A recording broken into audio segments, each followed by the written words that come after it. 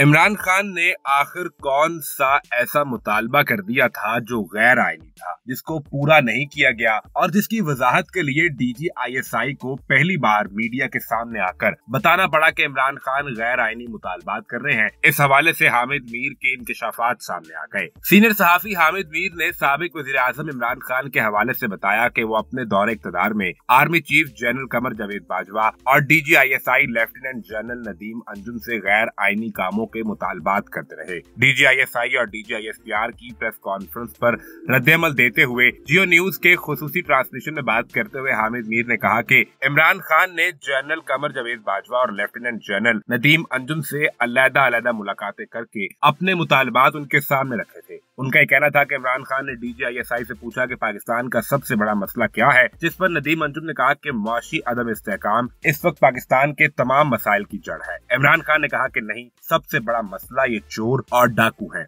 हामिद मीर ने कहा कि इमरान खान ने डीजीआईएसआई से कहा कि नवाज़ शरीफ, आसिफ जरदारी, शहबाज शरीफ, आप इन्हें अंदर कर दे, जिस पर डीजीआईएसआई ने कहा कि मैं इनको अंदर नहीं कर सकता, आप अगर ऐसा चाहते हैं तो हमें लिख कर दे दे। हामिद मीर का यह कहना था कि इमरान खान ने आर्मी चीफ से मुलाकात में भी यही मुतालबात उनके सामने रखे, लेकिन उन्होंने इमरान खान को जवाब दिया कि पाक फौज आइन और जबते की पाबंद।